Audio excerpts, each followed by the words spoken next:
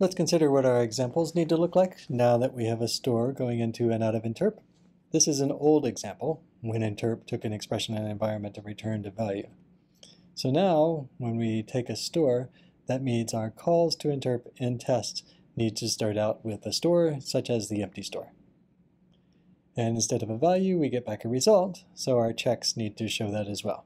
We get a res, in this case int v, and because interpreting just the number 5 doesn't change the store at all, we should still get back the empty store.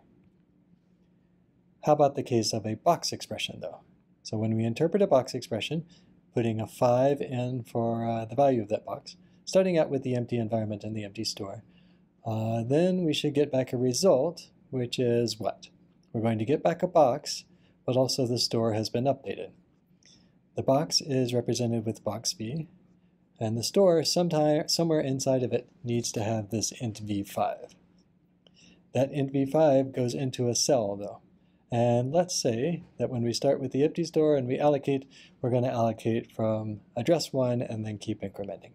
It's traditional not to allocate at address 0 after all. So we would uh, get a 5 put into cell 1 as part of the store. And that means that the box we get back needs to refer to that location. So, because that's where the 5 is in memory. Right? We allocated address 1, our box v just needs to remember the address that we allocated, and then you look in memory to go find the, uh, the value inside that box. Uh, that means that over our value data type is going to have int v, close v, and box v, like we suggested earlier, but now instead of using Shplait boxes, we will be using our own allocated locations. So a box v just has a number inside of it put it all together at the end then, this cell is the only thing that we allocated in the store. We, in, we interpret boxy nt5, and so we start with the empty store, add that cell to it with override store, and that is our complete example. Let's consider a set box example. So here I am creating a box 5, then I'm going to put a 6 instead of the 5 inside that box with set box. So what should we get as the result? Mo is not going to return void, we'll just return the, uh, the new value that we put inside the box in addition to installing it in memory. So we should expect an int v6 back. That is, after we do the set box, we don't have the box anymore.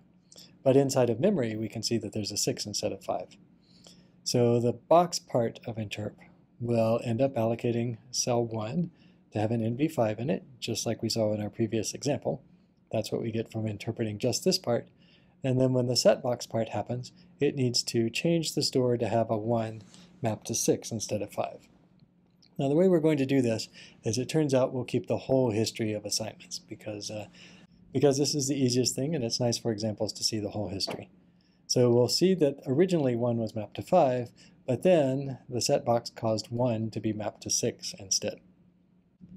So this is our overall test case in the case of set box of box. We get a store that has two overrides in it, reflecting the initial allocation of the box and then the assignment into the box. See store.rhm for more examples, including updated versions of the old examples.